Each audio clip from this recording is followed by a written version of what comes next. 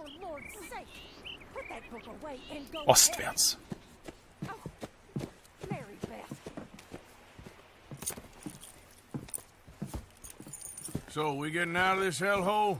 We're gonna try. Weather seems stable. And we just robbed the Leviticus Cornwall train. We got money in our pockets. The worst is behind us, gentlemen. So the question is, where now? I know this country a little. I told you, we should set up camp in Horseshoe Overlook near Valentine. We'll be able to hide out there no problem, as long as we keep our noses clean. Well, then let's go. Clean noses and everything else. Arthur, you're in that one. Bring Hosea. I know you two like to talk about the good old days and what's gone wrong with old Dutch. Up and go do your job.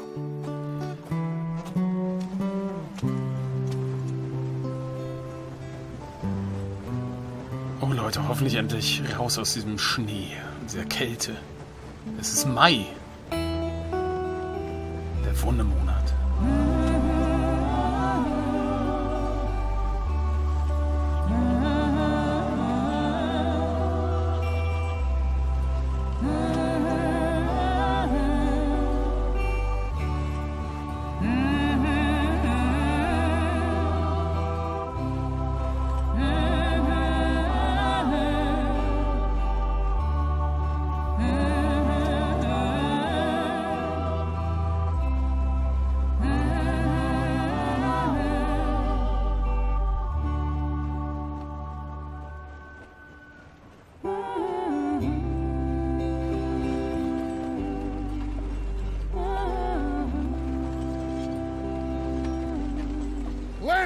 Micah, get over here!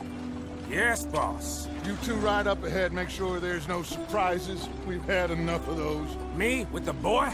Just go. Come on, kid. You can buy me a whiskey.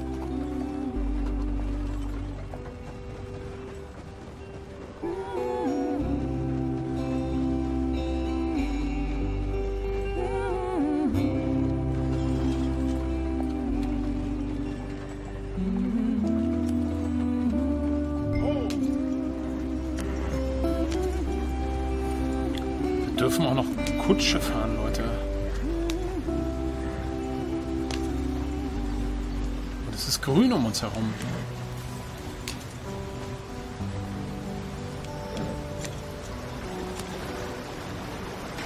Get us out the stream!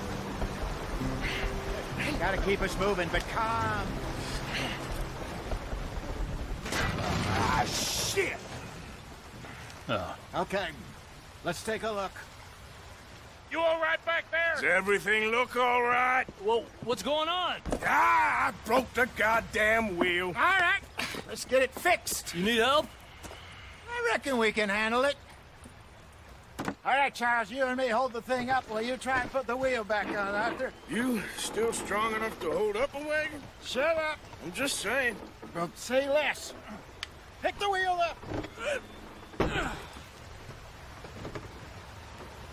So. Nochmal. Nearly there. Jawohl. There. See? You ain't so useless after all. Not quite.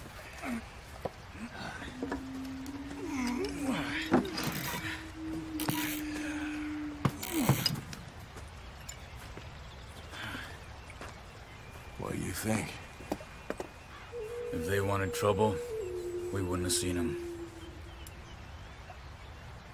Poor bastards. We really screwed them over down here. Come on, let's not push our luck. What happened? Well, get in. I'll tell you.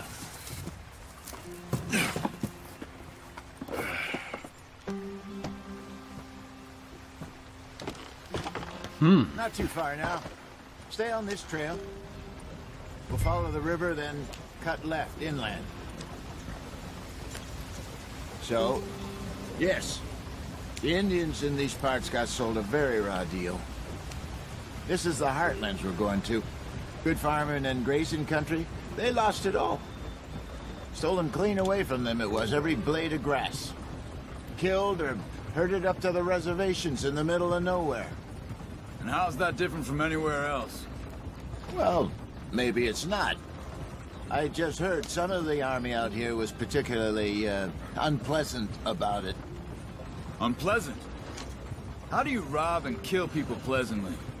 We don't, in spite of Dutch's talk. I fear I was perhaps trying to simplify something more complicated for the benefit of our blockheaded driver here. Hey, don't blame it on me. Never forget, this here's a con man, Charles, born and bred. Just 'cause it sounds fancy don't mean he knows a damn thing about what he's talking about. So, what happened to your tribe? I don't even know if I have one. At least, not that I can remember. My father was a colored man. He told me he lived with our people for a while. A number of free men did, but when we were forced to move from our lands, the three of us fled. I was too young to really remember much. All life I've been on the run. A couple years later, some soldiers captured my mother. Took her somewhere. We never saw her again. We drifted around. He was a very sad man, and the drink had a mean hold on him. Around 13, I just took off on my own.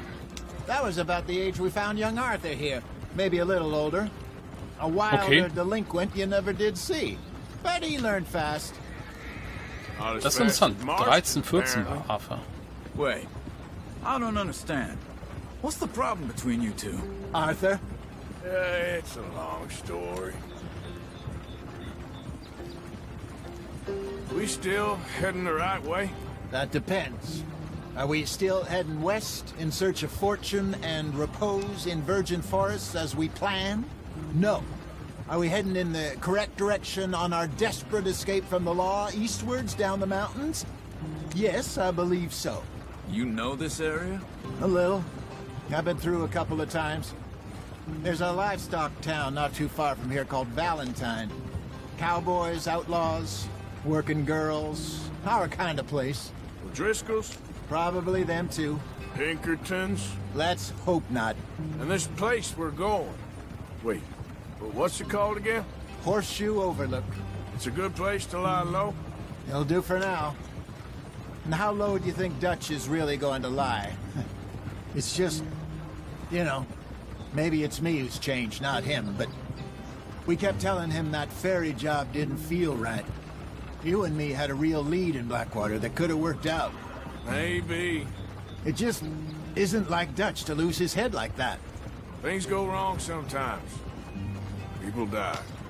It's the way it is. Always has been.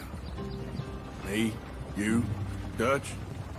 We've all been in this line of work a long time. And we're still here, so... well, I figure we must have got it right a hell of a lot more than we got it wrong. Okay, aber Hosea ist so ein are bisschen you skeptisch, working ne, on was die there, Situation anyway? betrifft. Just some yarrow and ginseng. Good for the health. Better than that stuff you buy in the store. Yeah, you can have all this. I'm at the point where I can do it with my eyes closed. Oh, okay. Thank you. Gut, wir haben Kräuter bekommen, Ginseng und Yeah. Schafgabe. Damit können wir kochen, Arznei herstellen, Tinkturen und so weiter. Und da gibt es einige von solchen nützlichen Gewächsen zu finden. Wir können überhaupt mal ins Kompendium gucken und uns das mal angucken. Ginseng kann zur Herstellung von starkem Wundertonikum verwendet werden. Die Sträuche des amerikanischen Ginsengs sind an ihren großen handförmigen Blättern, ihren glatten Stängeln und ihren roten Beeren zu erkennen, die in kleineren Trauben wachsen als beim Igelkraftwurz. Diese Pflanzen sind in Wäldern und Feuchtgebieten von West Elizabeth bis zu den Randgebieten von New Nova heimisch. Diese Heilpflanze kann zu Arzneien weiterverarbeitet oder verzehrt werden, um deinen Gesundheitskern wieder aufzufüllen. Ja, und dann haben wir noch. Eigentlich müssten wir noch was anderes, ne? Wir können hier nochmal blättern, genau. Ja, ihr seht, hier sind einige Plätze noch frei. Schafgabe haben wir noch ge kennengelernt. Kann zur Herstellung von starken Arzneien verwendet werden. Schafgabe ist leicht an ihren langen, dünnen Stängeln und roten Blütentrauben zu erkennen. Diese Pflanze ist im Grasland und in offenen Waldgebieten in New Hannover und Lemoyne zu finden. Schafgabe eignet sich zum Verzehr, um den Kern deiner Gesundheit wieder aufzufüllen. kann aber auch zu Arzneien verarbeitet werden. Also man kann es auch direkt verzehren. Ah, ich komme auch anders raus. So. So, jetzt können wir mal hier ein bisschen Tempo machen.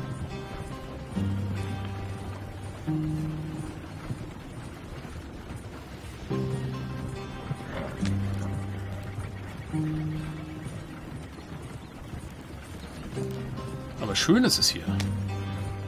There you are, brother. Head in there. Follow the track for a bit. Thanks. Hey, slow up. I'll jump on. Okay, steig auf.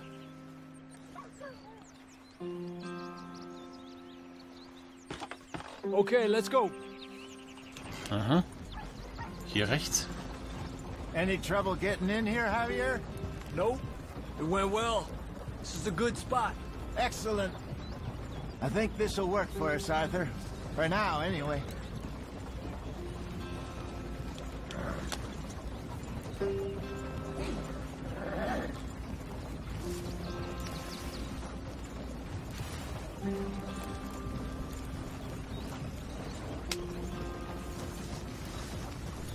Here we are, gentlemen. Home sweet home.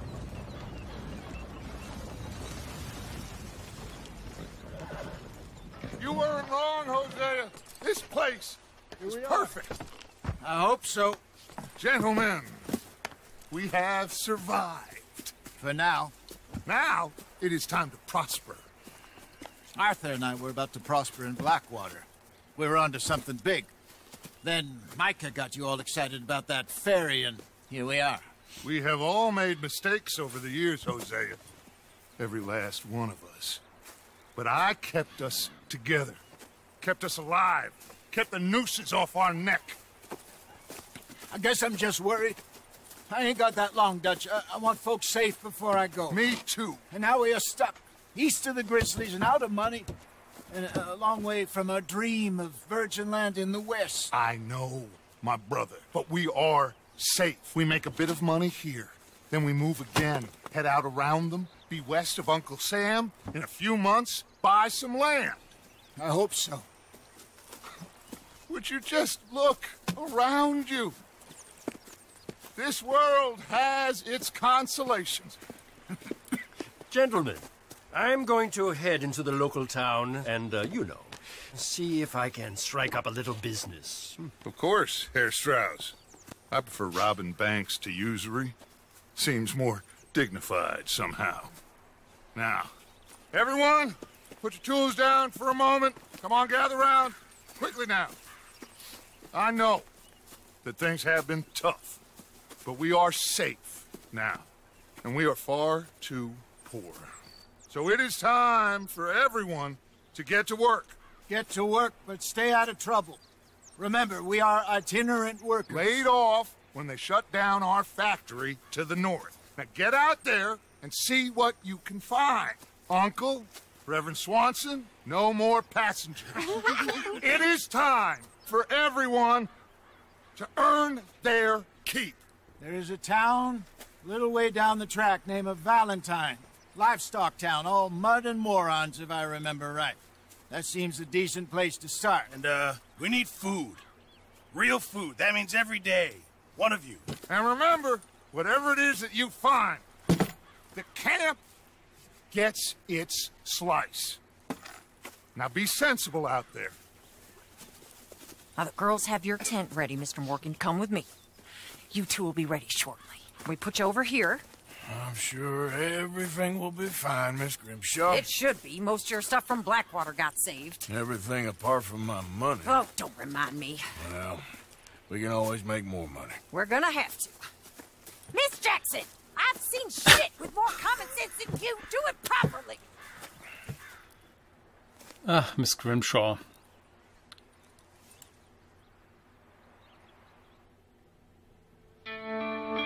Kapitel 2 Horseshoe Overlook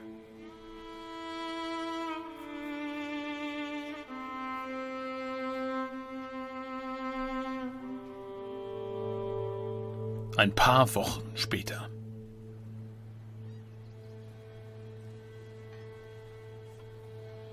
Got off the mountain. rode east into some pretty enough country called the Heartlands. Ain't been this far east in many a year. Dutch seems a little better. His eyes are sparkling once more, and I can see he's thinking a little clearer. I think we all feel a little happier, despite of Blackwater and that whole mess. Arthur? Jose?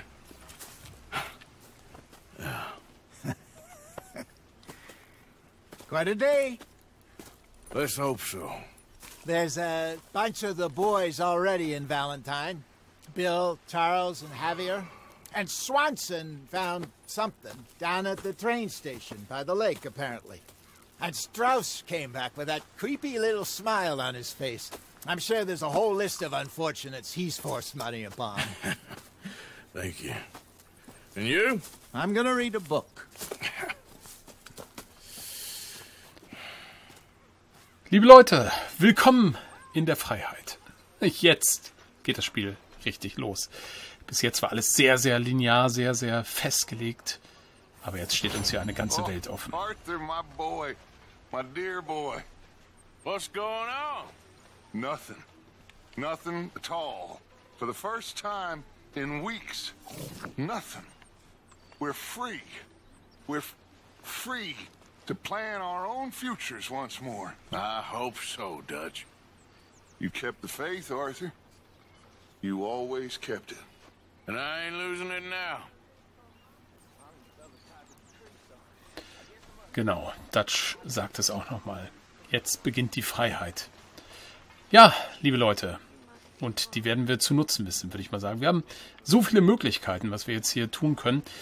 Ich würde vorschlagen, wir gehen es ganz ruhig an und gucken uns erstmal das Lager wirklich ganz genau an. Also erstmal das, was hier Arthur selbst besitzt. Und äh, dann schauen wir uns um, wie es den anderen geht, was hier vielleicht irgendwo zu tun ist, was wir machen können und so weiter und so fort. Wir müssen auch gucken, wir haben diese Briefe von Leviticus mit eingesteckt, dass wir die noch lesen, Tagebuch angucken. Eieiei, wir haben so viel zu tun und ich freue mich drauf. Wahnsinnig. Gut. Ja, vielleicht beginnen wir mal damit. Ähm, wir haben, glaube ich, noch, haben wir noch Winterklamotten? Was sind das für Sachen, die wir jetzt hier Morning, anhaben? Arthur. Morning Pearson. Komm, wir ziehen uns mal um. Wir gucken uns mal die Garderobe an. Also, das läuft so. Man kann entweder gesamte Outfits quasi hier anlegen. Manche sind schon vorgegeben. Man kann später noch welche dazu kaufen.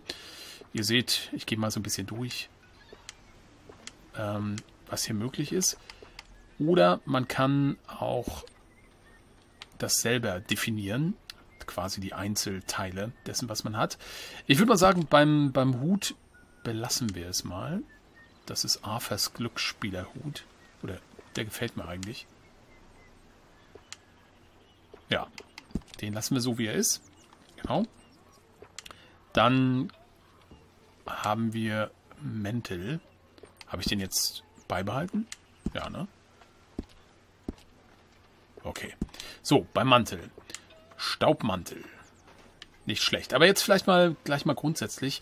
Wie möchte ich unseren Afer anlegen? Klar, wir können nicht großartig die Handlung beeinflussen, aber so vom Typ her, wie ich ihn mir vorstelle, ich würde ihn mir vorstellen als jemand, der eher ein Eigenbrötler ist, der gerne alleine ist, der gern so sein Ding macht, der gern auch in der Natur ist, in den Wäldern ist, jagt. Ähm, wir haben ja jetzt mit Pfeil und Bogen Jagd gelernt, daran hat er vielleicht auch seine Freude gefunden. Ähm, hier fürs Lager Fleisch besorgt und so weiter vielleicht auch so ein bisschen so wie ein Trapper unterwegs ist, Fälle handelt ab und an, ähm, der gerne vielleicht die Natur beobachtet, Tiere beobachtet und solche Geschichten. Natürlich ab und an auch in die Stadt geht, um Dinge zu verkaufen, um zu kaufen, um guten Whisky zu trinken, vielleicht auch mit der einen oder anderen Dame sich zu vergnügen und so weiter und so fort. Aber ansonsten eher das Stadtleben mit einer gewissen Skepsis und Abscheu betrachtet. Aber manchmal muss man ja hin. So, so ein Typ ist er. Und dementsprechend wollen wir ihn auch ausstatten. Ähm, also ein bisschen jagdmäßig. Montana-Mantel. Der ist, der ist für kalte Gegenden. Hirschbock-Jagdjacke könnte man nehmen. Oh, schaut mal. Jemand hört klassische Musik. Oder hört mal, besser gesagt. Hirschbock. Ja, warum nicht? Klar, nehmen wir das mal. So, Westen eine King-Hirschbock-Federliste?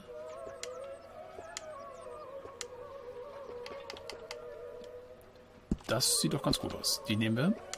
Oberteile, Alltagshemd, Alltagsüberhemd, französisches Anzugshemd und... Ach, lange Unterwäsche. Ich finde, das passt zur Affe, oder? Das nehmen wir. Gut.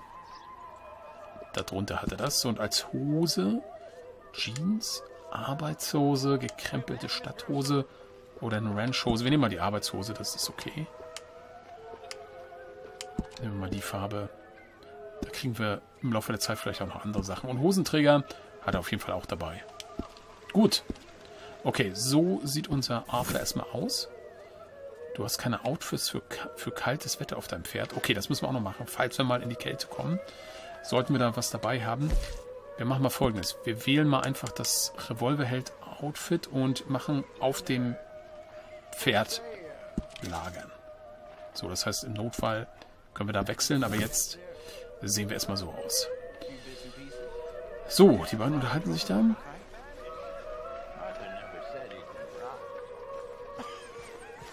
No, not Arthur. Also, a couple of morons threatened to lynch me. So, I ran away, came back, robbed them. Good lad. How about you? A few bits and pieces. Nothing that exciting. Not yet, at least. Okay, ach so, die haben sich gefragt, was sie gerade so gemacht haben. Ne? All quiet, Jose. Thankfully, yes. Good. Did you and Micah see anything when you rode ahead? Nothing we need to worry about. Okay, good.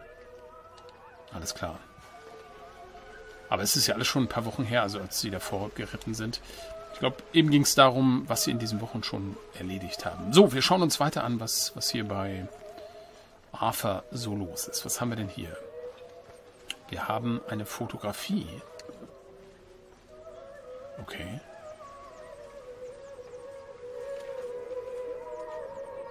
Wer kann das sein? Beatrice Morgan, Spring Rocks, 1870. Ich schätze mal, dass es könnte Arthurs Mutter sein, oder? Ähm, warte mal. Es wurde gesagt, er ist mit 13 oder 14 angekommen und er ist seit 20 Jahren da. Das heißt, 89, 79 muss er zur Bande gekommen sein. 69. Ja, okay. Dann war das ein Bild, wo er vielleicht so drei, vier Jahre alt war, würde ich schätzen. Interessant. Okay. Hier liegt noch ein Buch rum. Das können wir auch irgendwie uns anschauen. Aber es ist schwer zu, zu aktivieren. Hier. Nee, rasieren will ich nicht. Ich will einfach mal kurz aufs Buch gucken. Hm, stehen wir doof. Das ist ein bisschen ein Nachteil dieses Systems. So, Spaziergänge durch Wald und Wiesen heißt es. Da erfahren wir ein bisschen was über was. Botanik. Ja. Gut, ich würde mal sagen, hier geht es um Pilze. Ähm, das lernen wir, oh, schauen wir uns mal später ein bisschen genauer an. Wir gucken jetzt erstmal, was wir haben. Wir haben hier noch eine Fotografie. Oh, das scheint irgendwie eine jüngere Dame zu sein. Steht da was hinten drauf? Nee, gar nichts. Hm. Hat Arthur eine Frau, eine verflossene? Wir haben hier noch ein Buch. Wir haben überhaupt noch ein bisschen mehr. Ein Zeitungsausschnitt über den ersten Banküberfall. Okay. Lesen wir das mal. 15. April 1887. Dreister Banküberfall. Drei Männer gesucht. Seit einigen Jahren ist Major T.J. Balford nun schon Kassierer bei der Lee und Hoyt Bank, aber nichts konnte ihn auf die Ereignisse der letzten Woche vorbereiten. Es war ungefähr um zwei Uhr. Drei Männer, die ich nicht kannte, traten durch die Tür und kamen zum Schalter. Einer von ihnen, der älteste, war sehr wortgewandt und verwickelte mich in ein Gespräch. Na, das wird Dutch gewesen sein. Plötzlich zog der Größte, ein mürrischer junger Mann, eine Waffe und hielt sie mir vor das Gesicht. Hände hoch, sagte der Dritte, der hier Anführer gewesen sein muss. Nee, halt, der Dritte ist Dutch, der andere ist bestimmt Hosea und der mürrische junge Mann ist vielleicht Arthur. Die anderen beiden wiederholten die Aufforderung fluchend und der Anführer sagte, Meine lieben patriotischen Freunde und ich werden Sie jetzt um Ihr Gold erleichtern und einigen Menschen die Vorzüge der Zivilisation näher bringen. Dann kamen sie hinter den Schalter und nahmen sich ein paar Säcke, in denen 5000 Dollar an Gold waren. Sie wollten wissen, wo der Rest des Geldes war, und ich zeigte auf drei Säcke mit Silber, aber die waren ihnen zu groß. Sie machten sich daran zu fliehen und warnten mich davor, den Alarm auszulösen. Solch eine Angst hatte ich meinem ganzen Leben noch nicht, sagte Mr. Belfort einem Reporter. Die Räuber sollen sich noch eine Weile in der Stadt aufgehalten haben und, wie unbestätigte Quellen behaupten, sollen sie verschiedene Armenhütten und Waisenhäuser besucht haben, wo sie Teile ihrer unlauter, unlauteren Beute verteilten. Oh, okay, die sind so ein bisschen Robert Hood-mäßig unterwegs. Oder unterwegs gewesen. Ist das noch so? Das wird sich zeigen. So, wir haben noch das zoologische Kompendium. Schön. Was für schöne Bücher Arthur hat. Okay. Der Dachs, das Stinktier. Hm, ich hoffe, wir finden noch eine freie Minute, um das zu lesen. Gut. Ich glaube, warte mal, da. Untersuchung, was heißt das? Ah, schaut mal. Arthurs Hufeisen. Hosea Dutch und Arthur. Schaut mal in Jugendbilder. Wie cool. okay, das ist ein Hufeisen. Arthurs Vater. Lyle Morgan in Lassani oder so. 1874. Da hat Arthur auch schon gelebt, oder? Arthurs Hund? Arthur hat einen Hund, Leute. Oh, das hat er sich aber echt hübsch hier gemacht. Gut. So, aber das, glaube ich, ist noch nicht alles, was wir bei Arthurs Wagen haben, sondern... I'm happy to swap later if you want. I'm sure Grimshaw would find some problem with that. Morning, Arthur. Morning, ladies. How you doing, Karen? Oh, all right, I guess. Grimshaw's driving me crazy. Well, so no change there. Well, I should get back to it. Sure, Arthur. All right, Mary Beth? I'm bored out of my mind. Been cooped up for days. Well, bored is better than freezing. Da hat sie okay, nichts zu I'll antworten. catch you later, then. All right, Arthur. So, was ich eigentlich wollte, ich wollte hier nochmal hinter den Wagen gucken, denn in Arthurs Wagen wird die Munition gelagert. Allerdings ist jetzt, glaube ich, nix da oder so gut wie nix. Revolvermunition können wir uns mal nehmen. Pistolenmunition, ich weiß gar nicht. Haben wir noch gar nicht. Ja, und man kann, das wird alles noch Thema werden, man kann vorne über die Kasse und das Buch, das Lagerbuch, kann man hier Nachschub beordern. Das wird dann hergebracht und dann kann man sich das Zeug hier nehmen. Also alle aus der Bande können sich das nehmen, wenn sie brauchen. Man sollte so ein bisschen dafür sorgen, dass immer Nachschub da ist. Oben rechts seht ihr drei rote Symbole für Nahrung, Munition und Medizin. Das sind so die drei Nachschubelemente, die hier im Lager eine Rolle spielen. Liebe Leute, wir sind erst am Anfang der Lagererkundung, aber an dieser Stelle machen wir erstmal eine Pause. In der nächsten Folge ja, machen wir weiter damit und schauen, äh, was hier noch so los ist. Jeder hat so sein, sein Ding zu erledigen. Schaut mal da hinten. Ist das Herr Strauss? Ich weiß es nicht. Wir genießen mal dann ein bisschen die Aussicht. Ach, wir haben so viel, was wir tun können. Wir wollen es auch nicht beeilen. Keine Hektik. Also, genau, wir werden daran erinnern, dass wir Pearsons, Pearson Tiere bringen sollen, damit er Fleisch für Essen hat und so weiter. Auch das werden wir tun. Das wird, glaube ich, das Übernächste sein, dass wir mal ein bisschen auf Jagd gehen. Also, bis zur nächsten Folge. Macht's gut. Euer Steinwall.